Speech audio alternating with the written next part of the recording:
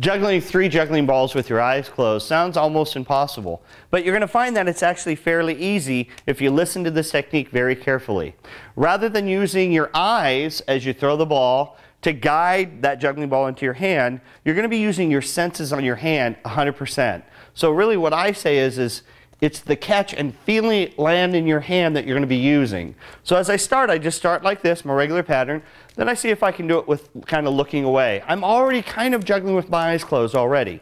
Now if I can close my eyes and open them, close my eyes and open them, you're going to slowly feel the difference in the way that that feels. And before you know it, you'll actually be able to juggle with your eyes closed. A Little bit of practice, you'll be able to do it. Keep up the good work.